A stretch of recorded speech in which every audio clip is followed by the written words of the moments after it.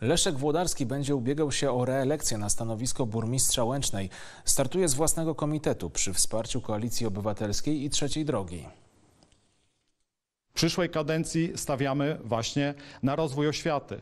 Mamy w planie wybudowanie dwóch nowoczesnych e, przedszkoli, żłobka publicznego.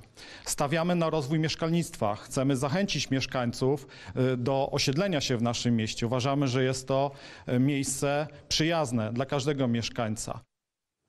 Włodarski planuje inwestycje drogowe w Łęcznej oraz rozważa utworzenie strefy ekonomicznej. Planuje m.in. budowę sali widowiskowo-kinowej oraz akwaparku. To obecny burmistrz Łęcznej. W poprzedniej kadencji samorząd zrealizował inwestycje za 100 milionów złotych. Za swój sukces uważa także redukcję długu publicznego o 65%.